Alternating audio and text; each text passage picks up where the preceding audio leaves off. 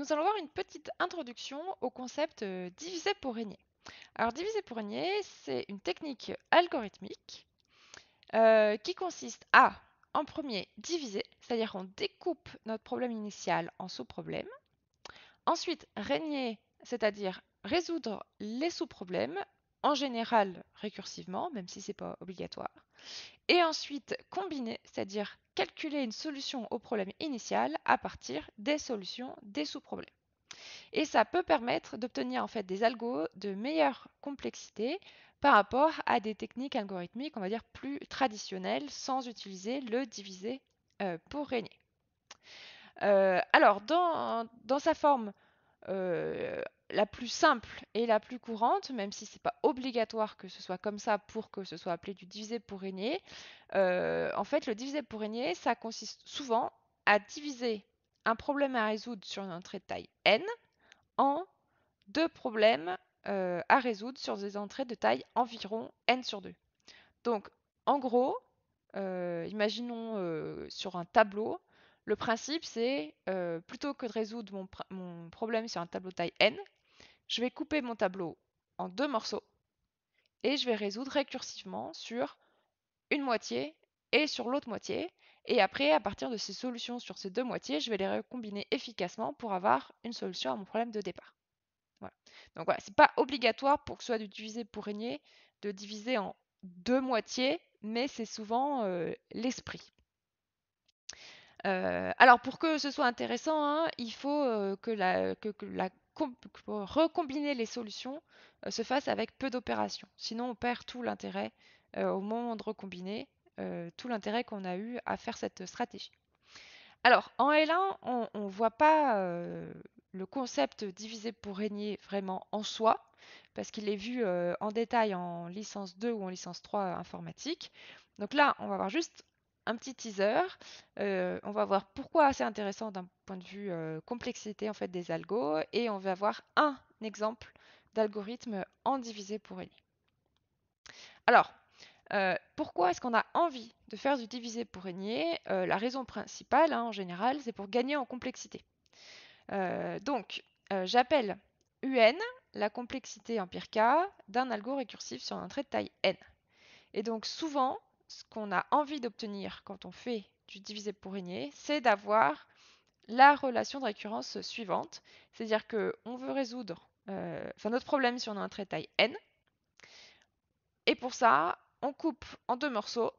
On va faire un appel récursif sur les deux morceaux de taille moitié. Donc là, pour être euh, rigoureuse, j'ai mis des parties entières inférieures et, et supérieures. Donc ça va nous faire du coup un appel récursif sur la première moitié, plus un appel récursif sur l'autre moitié. Et ensuite, eh il faut compter toutes les opérations qu'on fait euh, qui ne sont pas dans ces appels récursifs, c'est-à-dire ben, découper en moitié, ça nous prend du temps. Des fois, on le fait euh, de manière euh, très simple et arbitraire, des fois, on le fait intelligemment suivant le problème. Et surtout, il faut compter le coût pour recombiner les solutions des deux moitiés après les avoir obtenus. Et euh, souvent, on, essaye de viser euh, un, coût linéaire pour toutes ces opérations qui ne sont pas dans les appels récursifs. Donc pour le découpage et pour euh, recombiner les solutions. Donc ça, pour compter un peu à la louche, ça fait à peu près du 2 fois UN sur 2 plus un truc linéaire que je simplifie en n, tout court. Donc on obtient une sorte de relation de récurrence qui est à la louche un égale 2 fois un sur 2 plus n. Et euh, un cas de base où on a, euh, quand n est petit, un égale un temps constant que j'ai simplifié en un égale 1. Si on obtient une relation de récurrence de ce type-là, pour un algo donc euh, divisé pour régner, eh bien on peut prouver que un est de l'ordre du euh, grand taux de n log n. D'accord? Donc là, je ne vous explique pas euh, pourquoi dans ce slide, donc je vous demande de me croire euh, sur parole.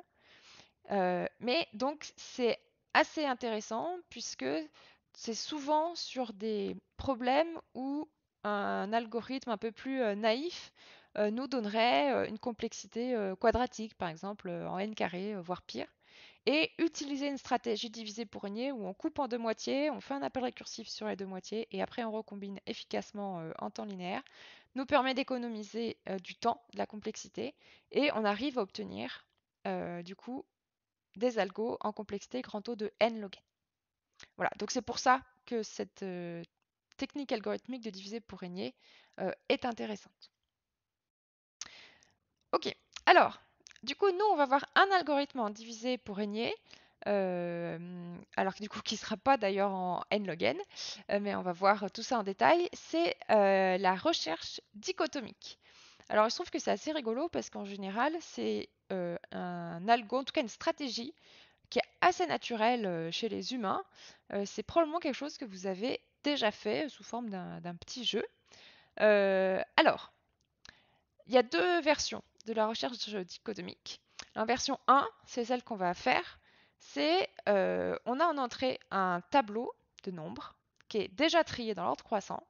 On nous donne une cible et on va chercher si la valeur apparaît dans, dans le tableau.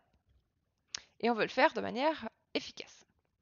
La version 2, qui est en fait la, version euh, la plus connue dans le grand public, c'est euh, quelqu'un a choisi un nombre mystère entre 0 et une borne max, disons entre 0 et 100. Et ensuite, il y a une deuxième personne qui doit euh, essayer de deviner ce nombre mystère. Et à chaque fois, il a le droit de demander euh, une valeur, de dire euh, est-ce que le nombre mystère, c'est par exemple 55 Et la personne qui connaît le nombre mystère répond à chaque fois c'est plus ou c'est moins ou c'est exactement le nombre mystère. Donc ça, c'est quelque chose qui est assez, euh, connu, cette histoire de nom mystère. Et souvent, une, stratégie qui est, euh, qui est connue, c'est de commencer, euh, par exemple, au milieu. Entre 0 et 100, on va dire, est-ce que c'est 50 le nombre mystère? Et souvent, on, tape au milieu de ce qui reste dans le champ de recherche. Et bien, c'est ça l'esprit de la recherche dichotomique. Alors, petit commentaire. Euh, dans les deux cas, euh, faire une recherche, ça peut facilement être fait en temps linéaire. Par exemple, rechercher une cible dans un tableau, euh, trié ou, même d'ailleurs pas trié. On peut le faire en temps linéaire, c'est-à-dire on parcourt toutes les cases du tableau et à chaque étape, on regarde si la cible correspond à ce qu'il y a dans la case du tableau.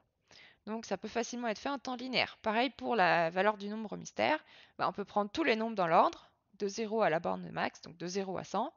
On peut demander est-ce que c'est 0, est-ce que c'est 1, est-ce que c'est 2, est-ce que c'est 3, etc., etc. Donc ça se fait en temps linéaire dans le nombre qu'on a euh, dans l'intervalle possible des nombres mystères. Mais ce qui nous intéresse, c'est de faire strictement mieux que du temps linéaire. Et donc la dichotomie va nous permettre d'avoir une complexité meilleure et on vise une complexité qui est logarithmique en n. On va définir ce que c'est n euh, bientôt. Alors, voici euh, le problème plus précisément qu'on va essayer de résoudre. Au début, j'ai un tableau de nombres trié dans l'ordre croissant. Je me donne une cible. Dans mon exemple, la cible ce sera 53.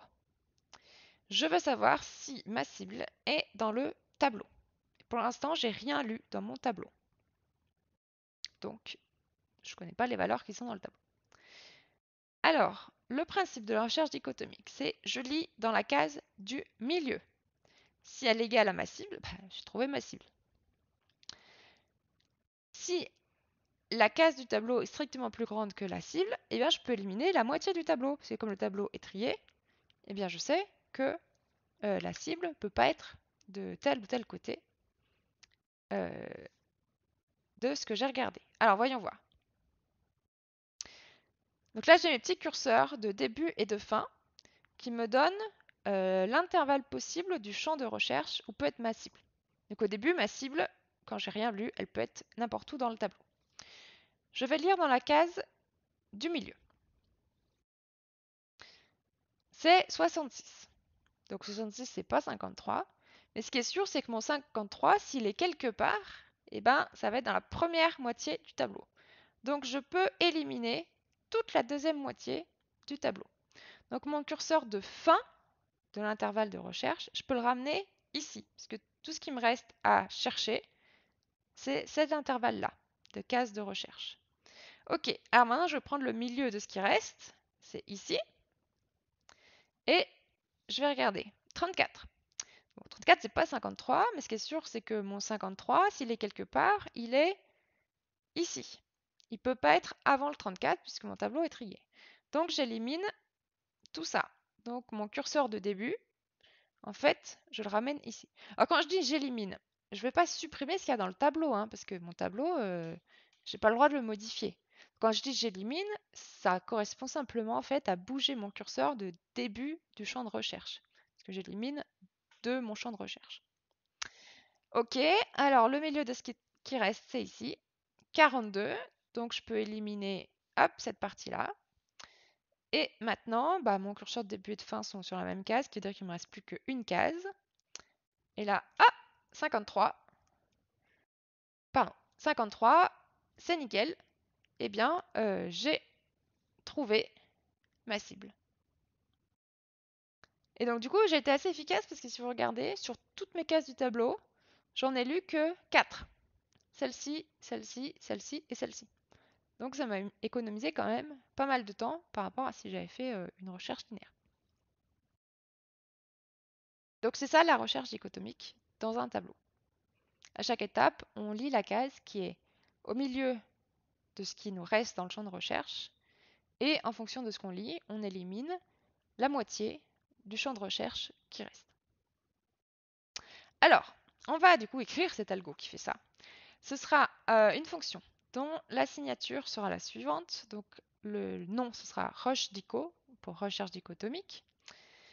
Ça prend en argument un nombre cible, un tableau de nombres et, attention, on va rajouter un entier début, un entier fin, qui seront les indices euh, des cases de début et de fin du champ de recherche. Et ça va nous servir, parce qu'en fait, quand on va faire des appels récursifs, eh on aura besoin de ces informations-là et ça va nous renvoyer un booléen qui vaudra vrai si la valeur euh, cible est dans le tableau, dans cet intervalle de recherche entre début et fin, et faux sinon.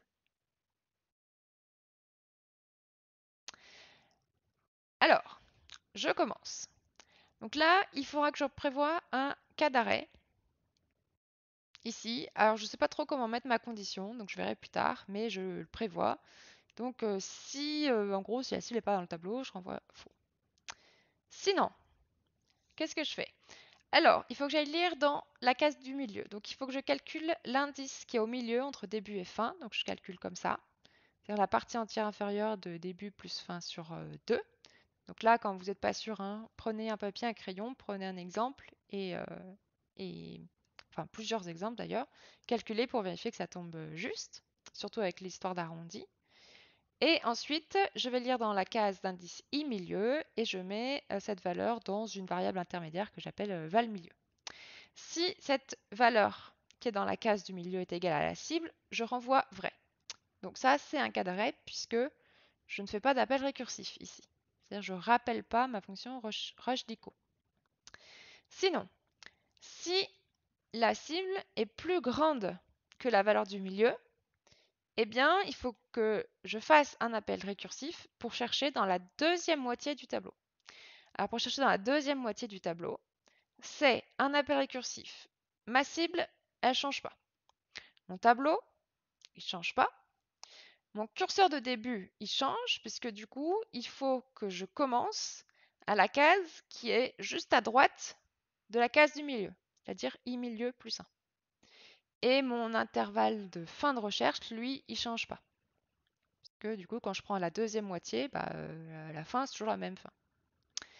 Sinon, donc là, c'est le troisième cas. Donc si ma cible n'est pas égale à val milieu et qu'elle n'est pas strictement positive, c'est forcément qu'elle est strictement inférieure à val milieu. Dans ce cas-là, je lance un appel récursif sur la première moitié euh, du tableau, en tout cas première moitié de mon champ de recherche. ma cible ne change pas, mon tableau ne change pas. Mon début de champ de recherche, de champ de recherche ne change pas. Et par contre, ma fin de champ de recherche change puisque mon curseur de fin doit être placé dans la case qui est immédiatement à gauche de ma case du milieu, c'est-à-dire i milieu moins 1. Ok, donc là, euh, j'ai presque tout. Il me reste là, ça à bien définir. Alors, voyons voir. Euh, ce que j'ai envie de dire, c'est euh, quoi Bah si, quoi, s'il me reste qu'une seule case, non, ça c'est peut-être pas forcément terrible parce que regardez là, il me restait qu'une seule case, c'est-à-dire j'avais début et fin sur la même case. Et là, bah, il faut quand même que je regarde ce qu'il y a dedans parce que il peut y avoir 53 ou pas 53. Donc ça, c'est pas l'idéal. En fait, qu'est-ce qui se passe concrètement? Bah, Il faut quand même que je traite le cas où il reste une case. Je lis dans ma case du tableau. Je trouve pas ma cible. Mais si j'exécute là mon, bloc du sinon, ce qui va se passer mécaniquement, c'est que mon curseur de fin va être mis euh, à gauche de ma case de milieu. Donc en fait, mon cas vraiment d'arrêt, c'est quand j'ai plus aucune case à rechercher, que mon champ de recherche est vide. Et ça, c'est quand mon curseur de début et de fin sont échangés par rapport à ce qui est logique. C'est-à-dire quand mon curseur de fin se retrouve avant mon curseur de début. En fait, c'est ça mon vrai cas d'arrêt. Donc, c'est ce que j'exprime dans si début est strictement plus grand que fin. Donc si mon curseur de début et après mon curseur de fin, c'est-à-dire que mon intervalle de recherche est vide. Et donc dans ce cas-là, bah, si mon intervalle de recherche est vide, bah forcément euh, ma cible ne peut pas être dans euh, un intervalle qui contient 0 case. Donc dans ce cas-là, je renvoie faux.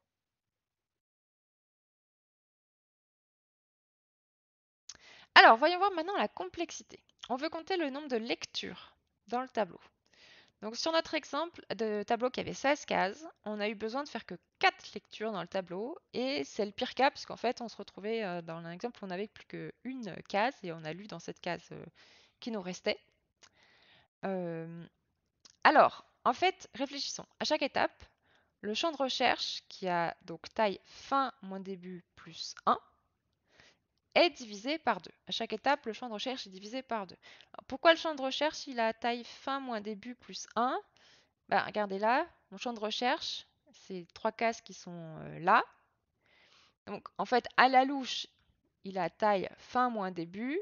Mais si je prends un exemple précis, si début vaut 4, 0, 1, 2, 3, 4, 5, 6 pour les indices, fin il vaut 6. Et donc mon champ de recherche, c'est 6 moins 4 plus 1, c'est-à-dire 3 cases. Ok, donc à chaque étape, le champ de recherche est divisé par 2. Et lorsqu'il ne reste plus de cases du tout, on est sur un cas d'arrêt. C'est le cas où on avait euh, donc nos curseurs de fin et de début qui sont euh, à l'envers. Ok. Alors, comme c'est une fonction définie par récurrence, il nous faut une suite qu'on appelle UN qui va compter le nombre de lectures provoquées, attention, dans le pire cas, lorsque n est le nombre de cases dans le champ de recherche. C'est-à-dire lorsque n est égal à fin moins début plus 1. Alors, quand le champ de recherche est non vide, c'est-à-dire quand on passe dans le sinon dans mon algo, on fait exactement une lecture dans le tableau pour chaque appel. C'est la lecture de la case qui est au milieu. Plus toutes les lectures qui sont provoquées par l'appel récursif qui se fait sur la moitié du champ de recherche. C'est-à-dire que notre UN, donc le nombre de lectures provoquées par un appel sur un champ de recherche à n cases, c'est une lecture provoquée par euh, la lecture dans la case du milieu, plus les lectures provoquées par l'appel récursif euh, sur n sur 2 cases. Avec une partie entière inférieure pour être tout à fait correct. Donc ça, c'est quand euh, le n est strictement positif, donc le champ de recherche est non vide. Et sinon, quand euh, on a zéro case dans le champ de recherche, on fait zéro lecture, parce qu'on renvoie directement faux. Voilà, donc c'est ça. Et maintenant, il faut qu'on analyse eh bien, cette suite pour pouvoir exprimer un en fonction de n et savoir quelle est vraiment la complexité. Alors, on ne va pas faire une analyse euh, formelle ensemble. alors, mais je vais vous donner quand même l'intuition. Donc, pour simplifier, Déjà, on a cette partie entière là, euh, inférieure qui nous embête un peu. Donc euh, on va imaginer qu'on peut toujours diviser par 2 et qu'on tombe toujours sur un entier, même si euh, effectivement c'est pas vrai. Mais ça va nous simplifier la vie. Donc, après une étape, on a divisé notre champ de recherche par 2, donc il reste n sur 2 cases. Si je fais encore une étape, je redivise par 2, donc il me reste n sur 4 cases. Après encore une étape, il me reste n sur 8 cases. Ensuite, n sur 16 cases, etc., etc., etc., etc. Donc en fait, après k étapes, il reste n sur 2 puissance k cases dans le champ de recherche. Et on s'arrête quand il n'y a plus de cases, c'est-à-dire que notre champ de recherche qui a n sur 2 puissance k cases est passé en dessous de une case. Et donc ça, si on fait une analyse, qu'on réécrit donc l'équation, on passe au log des deux côtés euh, en premier, eh bien, ça arrive lorsque k est euh, de l'ordre de logarithme en base 2 de n. Donc log de n. là, je ne fais pas l'analyse en entier, mais vous pouvez euh, le vérifier. Donc dans notre exemple à 16, 4, 16 cases, on a fait 4 lectures, ce qui est cohérent avec le fait que 16, c'est égal à 2 puissance 4. Euh, Donc ce qui veut dire que le log en base 2 de 16, c'est égal à 4.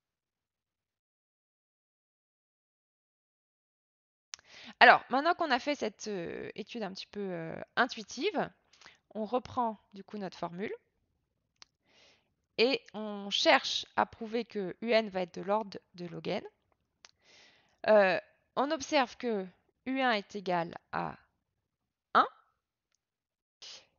et on peut prouver par récurrence que un est inférieur ou égal à 1 plus log en base 2 de n. Alors ça, arrive plusieurs fois euh, bah, quand, on fait, euh, quand on fait des maths et aussi quand on fait des, analyses d'algorithmes, que on réfléchit au brouillon en faisant un peu des approximations pour trouver une formule qui a l'air de coller. Et une fois qu'on a une formule qui a l'air de coller, eh bien, on peut la prouver par récurrence. Donc là, maintenant que je vous dis que la formule c'est ça, eh bien, vous êtes capable de faire une preuve par récurrence que ça, c'est vrai, sachant que ça, c'est vrai. Donc ça, vous en êtes tout à fait capable. Et là où je vous ai donné un coup de pouce, c'est que c'est moi qui vous donne la formule et je vous ai expliqué sur le slide d'avant comment est-ce qu'on travaille un petit peu au brouillon pour euh, obtenir une intuition là-dessus. Et une fois qu'on a ça, eh bien, on obtient que un est en grand taux de log n. On obtient en tout cas que c'est euh, au pire du log n. Éventuellement, ça pourrait être un peu mieux, mais ça, je vous dis qu'on ne peut pas avoir un meilleur ordre de grandeur sur cette euh, suite que du log n. Donc du coup, notre complexité pour la recherche dichotomique sur notre tableau trié, c'est logarithmique, ce qui est bien mieux que linéaire, qui aurait été l'approche la plus naïve. Pour conclure ce chapitre sur la récursivité, nous avons vu euh, les principes de la récursivité et on a vu des exemples issus, euh, donc c'est les exemples les plus faciles, des suites définies par récurrence en maths.